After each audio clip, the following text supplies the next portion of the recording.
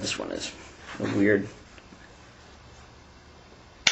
Yeah, I think I'll just hold it like this.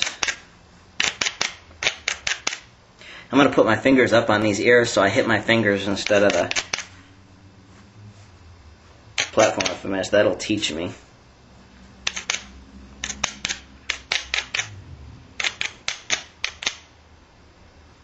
Get a nice. A lot of the reasons why I'm doing this too isn't so I feel where I'm going to hit. It's so that I I'm making a smooth spot on my hammerstone.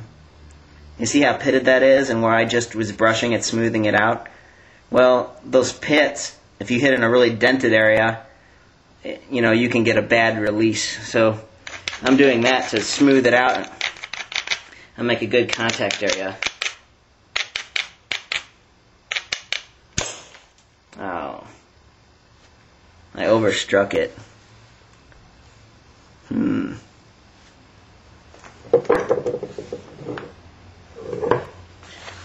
Try not to get frazzled, but I did a little bit there. Let's see what we can't do about this.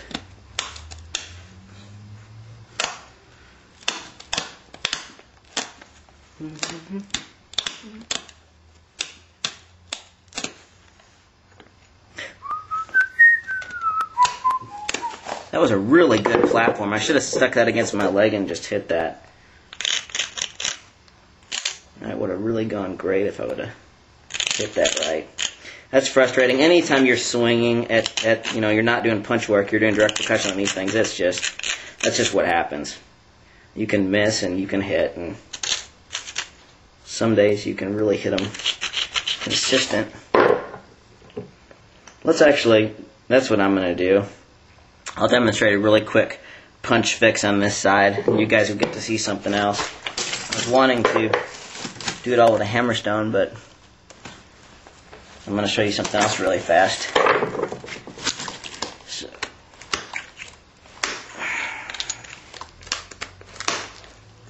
now I can work in this basin, set up another platform. I don't have to worry about ears because I can get in there and hit anything with a punch.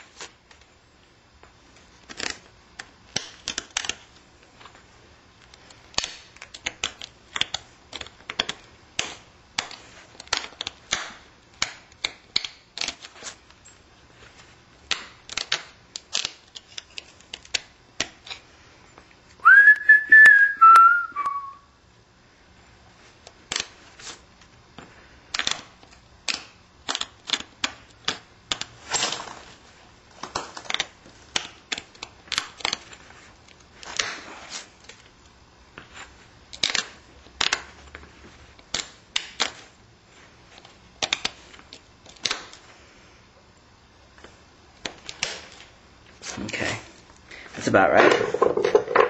To grind our tip.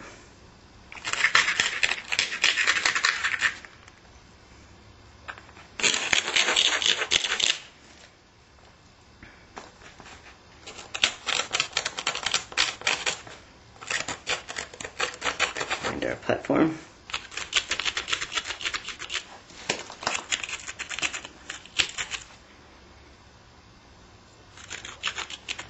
I going to use. Now you can just use an, a leather anvil, or you can just use a bone anvil. I'm going to use the bone, put a little bit more energy into my flake.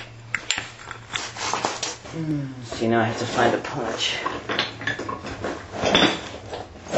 Better turn this off and Okay.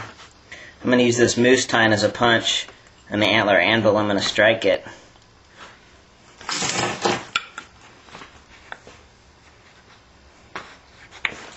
I'm going to use a, another moose antler to strike it. I'm going to hold the point with leather laterally. I'm going to put the punch in between my knee here. So you can see this. I have a teeny little notch in this punch that sits on the, it's just a very slight notch. It just sits there. I'm going to get this right at that angle that feels good. I'm to, there's going to be a little bit of movement to help break it free. I'm going to push the point into that antler anvil. Just apply a teeny bit of pressure to the punch with my right leg. Get it right to that point. It's going to break off and strike it.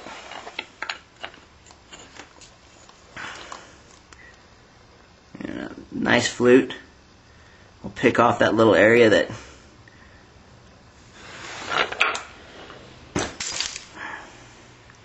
and it's really nice taper that way.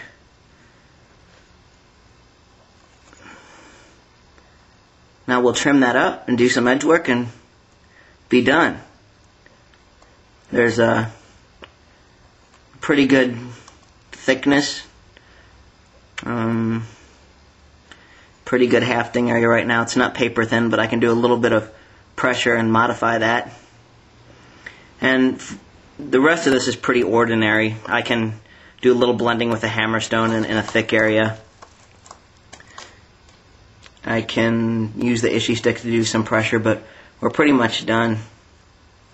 This is already running really long. This is like an hour. So I'll just finish up the rest of the edge work, turn off the camera, and, and show you what the finished thing looks like. Okay, I just finished doing the uh, the retouch. I just did a little pressure flaking on it, and did a little put a little pressure flake on the base to bring in that hafting area. So my base is pretty thin. And Clovis is a little bit on the meaty side, but fine. You know, it's a little bit, it's a nice stout one. Um, one side antler fluted, and then one side hammerstone fluted. Mm, serviceable. You know, nothing too special.